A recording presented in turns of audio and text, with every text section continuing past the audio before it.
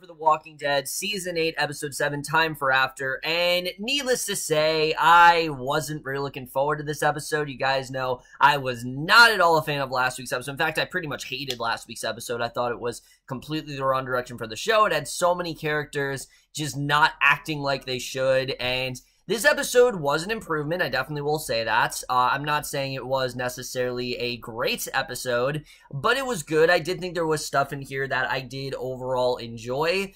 But again, the show is suffering from the same problems, and that's it's really just dragging things out, and a lot of these characters keep going back and forth, and it's it's just hard to tell what anyone's really thinking anymore, where everyone's head is at. It's just very confusing at this point, and uh, not in a good way. Not in a way where it's like, oh, the show wants you to feel the way. The show wants you to feel like these characters are genuinely confused. It just seems like they're writing these characters differently every single week, and I definitely did feel that in this episode. But let's just get this episode because I definitely do want to talk about it. So we start off with Rick. He's locked up inside a cargo container by Jadis and the scavengers, and let me just say, I don't give a shit about Jadis honestly, after this episode. I really do not care for her as a character, uh, especially these last two episodes honestly, like I was upset before they weren't really giving her a lot to do, but after these two episodes, you you honestly can go back to that because I, I really am not a fan of this character. Um, we see it begins with Rick. He's alone. He's swaying inside the container. The door opens and reveals he's only wearing his boxers and his hands are tied. He reminds them all it's not too late to join them.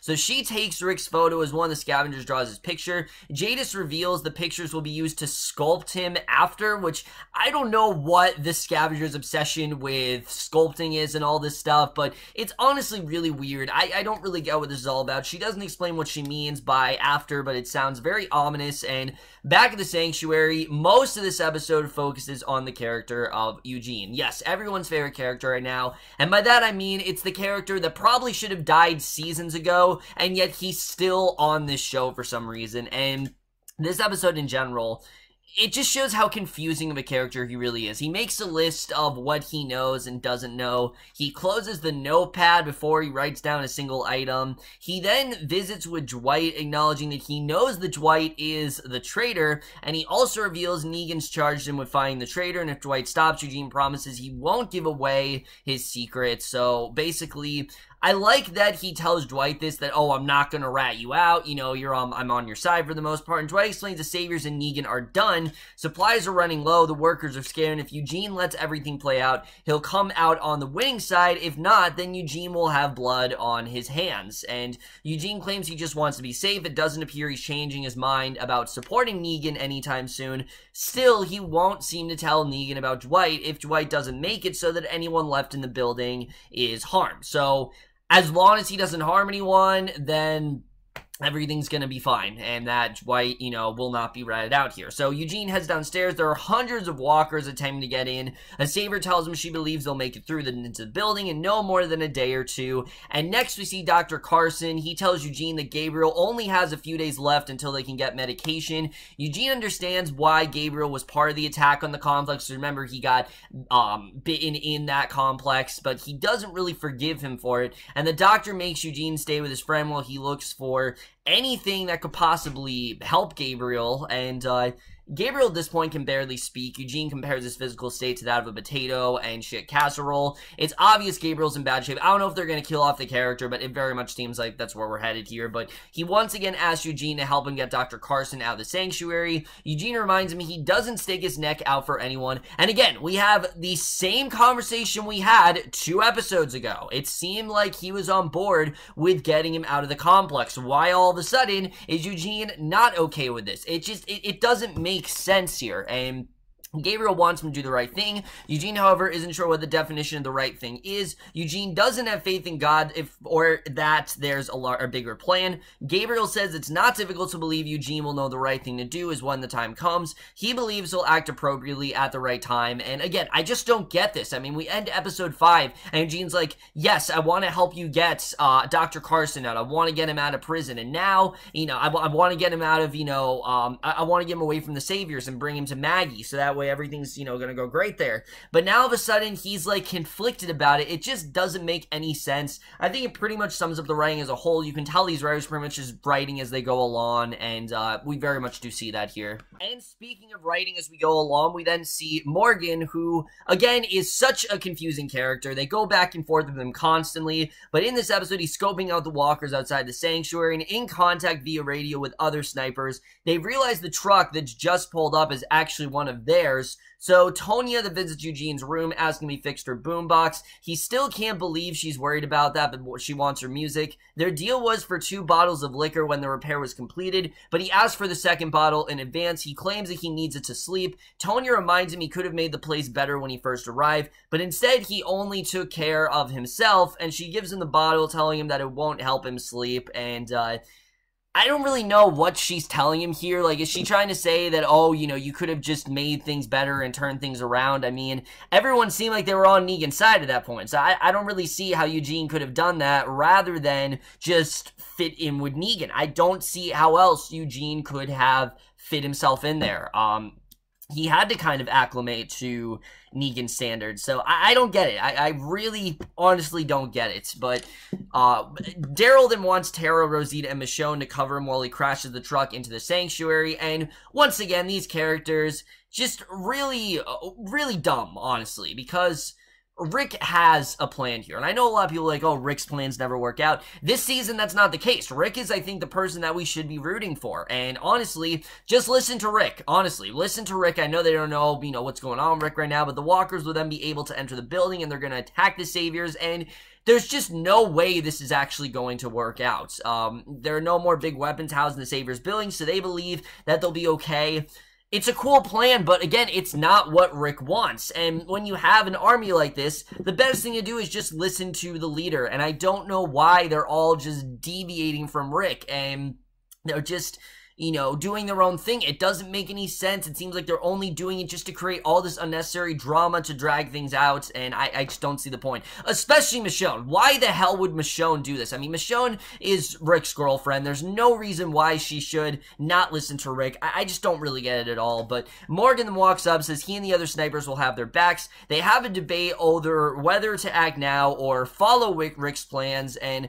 Tara's have said she waited once before, but Rosita still believes in Rick. She leaves group, but not before making sure that Michonne is good with the decision. Rosita believes they need to wait. And again, I, I don't get this. Rosita was the one last season who was so adamant about attacking Negan and going after them immediately. Why all of a sudden is she now going, you know, backwards and saying, oh, now I don't know why we need to do that. But she appears the rest of the team are dead set on crashing into the building. I don't know why Rosita is just outnumbered here, but it doesn't make any sense with the character. Negan then sits alone in the meeting room and Jeffrey Dean Morgan, honestly, I feel more and more bad for this dude as the season goes on because Jeffrey Dean Morgan is fantastic as his character, but they're not using him to his full potential at all. And look, I know there are a lot of people who don't like this portrayal of Negan, but the fact is, he's supposed to be our big bad. He's supposed to be the one that shows, oh yeah, this is what the mission's about. This is why we're taking this guy down. This is what really is going on here. But I, they're just not doing it right. They're not showing him enough. They're using him way too sparingly, and we need to start seeing more of Negan. He, like I said, is supposed to be our big threat here, and I just don't feel like he's that much of a threat anymore because they're barely acknowledging him. It's like they're just kind of pushing him to the side and only use him when they need to, and it's just not working. It's really not, and I want to see more of this character. Um, mainly just because of how great Jeffrey Dean Morgan is this character, but also because he is supposed to be our villain, and they're not using him to their potential at all here. But anyway, he motions Eugene in, assures him he doesn't want to let the Saviors die, even though he knows that they will survive. And Negan recognizes that Eugene is smart, and he wants to make sure Eugene knows he knows that. He offers Eugene his hand. Eugene goes to kiss it. Negan then snatches it away, saying he was only offering it for a handshake. And he reminds Eugene he doesn't shake hands often, as it's a sign of mutual respect. And back in his bedroom, Eugene is working on the boombox. He's staring at its speaker. He heads down to a storage area as he looks for parts. He spots Sasha's coffin and pauses pauses, pauses for a moment. He's very emotional before opening it to retrieve her iPod and if you were really that emotional, then why didn't you do something about it? Why didn't you try to help out Sasha in some way? I mean, Eugene seemed like he was so loyal to Negan that he was only looking for Negan's best interest, that he didn't care what happened to Sasha. So why all of a sudden is he now upset that Sasha died? It just, again, it doesn't make any sense for the character in any way, but Morgan then watches Daryl Michonne and Tara drive the truck closer to the sanctuary. Morgan tells Daryl to cut the engine so he won't draw the walkers' attention attention. Michonne doesn't look completely committed to this plan, and she suggests to Daryl that maybe they should trust the old plan will keep working. She doesn't think this new plan is worth risking them. Daryl replies that it's for him. Michonne tells him she hopes it works, but that she can't do it. And Tara's still on board, as are the four snipers, when Michonne then leaves. Eugene has built this remote control airplane. He's going to use it to play music and lead the walkers away. He makes a recording of what he's doing, positive will be successful, and just as he's about to launch it, Dwight then sneaks up, tells him not to turn around. I don't know how he actually thought this plan was going to work, but Basically, Tara gets in the position, Morgan snipers are ready for Daryl and his truck. Dwight tells Eugene to back away from the airplane. Eugene can't believe Dwight would kill everyone inside the building, and Dwight reminds him it means that Negan will kill Rick and all the others. And if Eugene launches this plane, Dwight says they're just traveling companions and not friends, so he's okay with that. And Eugene doesn't believe Negan can be killed by anyone, and he has a remote control ready to push to launch. And I don't get this. Like, wh what does Eugene want here? Why does he think that Negan is going to stay alive. I mean, Dwight is literally telling him, look, dude, the Saviors are dead. There's no way of getting out of this. Why isn't Eugene convinced here? I mean, I just... I don't get it. I don't get what they're doing with this character. It's very confusing and not in a good way. It's honestly really baffling to me. I don't get why they're going this direction here. But basically, uh, Dwight then continues to point the gun at Eugene's head, but he allows him to launch the plane, doesn't shoot. And look, I will say, um, the actor who plays Eugene was really good in this scene, but it doesn't, um, you know, excuse what the character is doing here and how inconsistent this character is. I mean, most of these characters are very inconsistent, but Eugene especially is very inconsistent. And as much as I do like Josh McDermitt, it might be time to retire this character. I, it honestly might be time. This episode really does show that, but um, basically, Daryl then drives the truck toward the building as Dwight shoots the plane out of the air, and outside the fence, the snipers and Tara begin firing into the building to cover for Daryl. Daryl then rolls out of the truck as the truck smashes into the building. Daryl and Tara then escape while the walkers pour into the sanctuary, and the saviors shoot the walkers, but there are just too many of them. They flee into the upper levels, so the walkers continue to make their way inside. Eugene watches as it all goes down. He's completely stunned.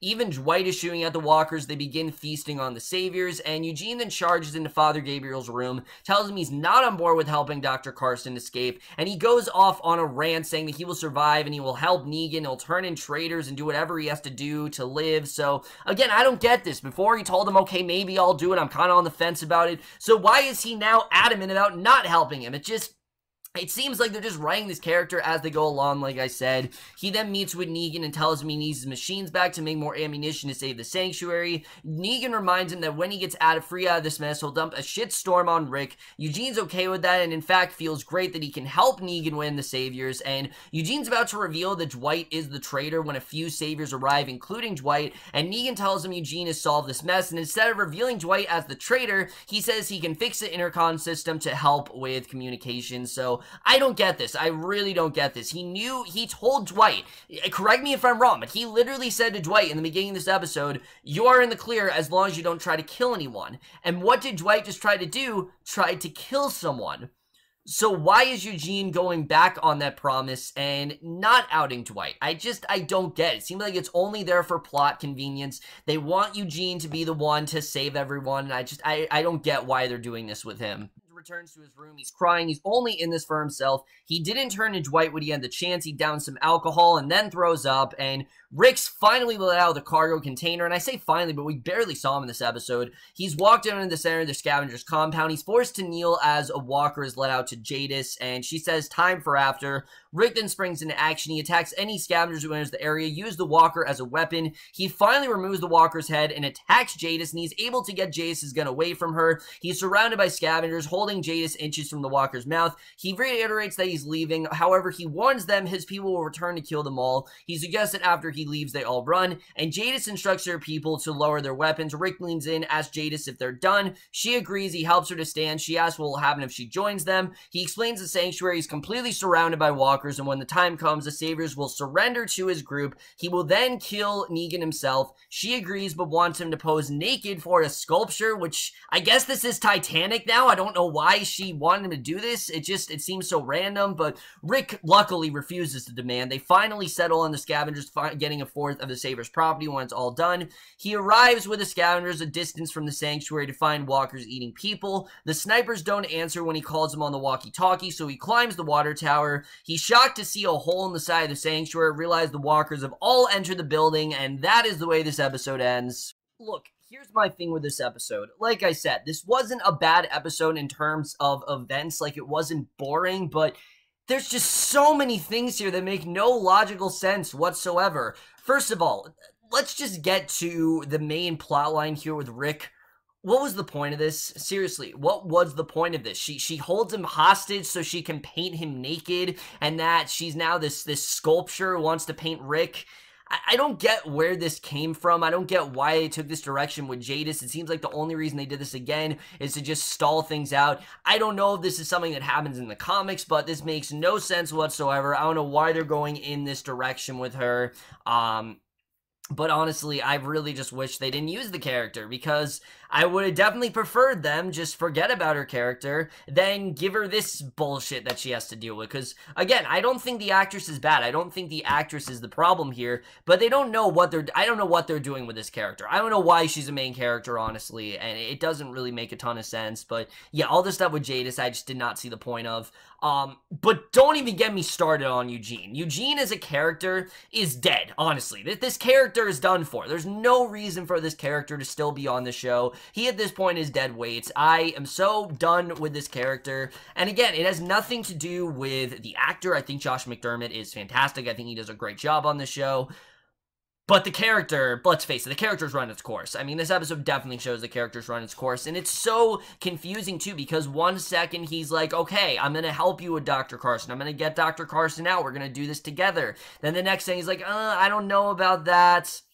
And then all of a sudden, he's like, oh, no, no, I'm definitely not getting Dr. Carson out. It's just like, dude, what do you actually want to do here? Do you actually want to help Dr. Carson? Why, why are you giving people promises and that you're not living up to them? I mean, he literally told Dwight that if you kill anyone, then, you know, then we're going to have a problem. And I'm going to out you to Negan. So why did he then forego that promise when he actually had the opportunity to do so and he when he caught Dwight actually killing people?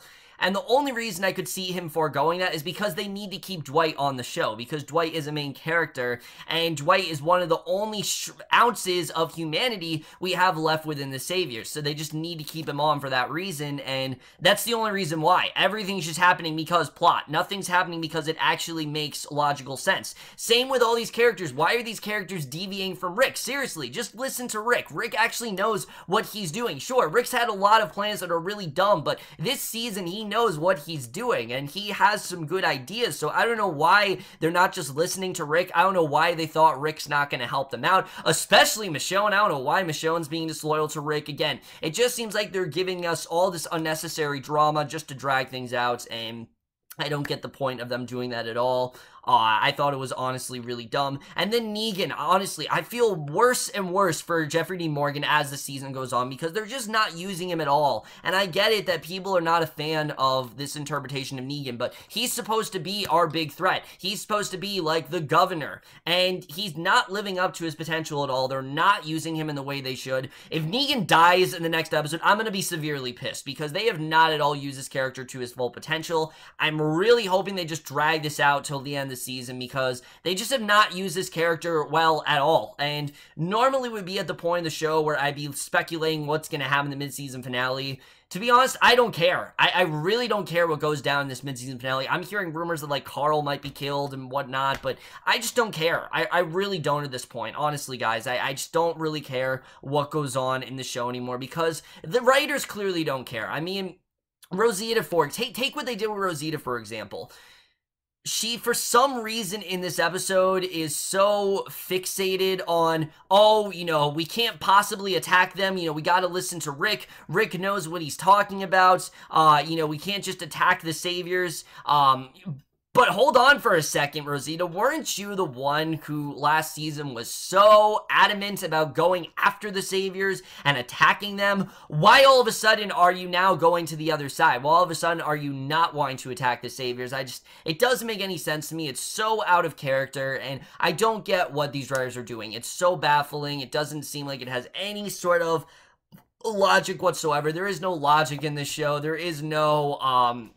rationale in the show. Nothing really makes a lick of sense, and uh, I'm just gonna accept that and accept that the show is just mindless TV at this point. And it's sad because I think these actors have a lot more potential than that. I think they could be doing a lot more with them, but they're just not utilizing them very well. And maybe that'll change the midseason finale because usually midseason finales when it's like they get their shit together, but we'll just have to see the way that really does turn out. Overall, guys, once again, this was another very disappointing episode. It was better than last week, uh, definitely, for sure, but uh, it's still not saying too much. And I am going to give The Walking Dead Season 7, Episode 7, Time for After, a C.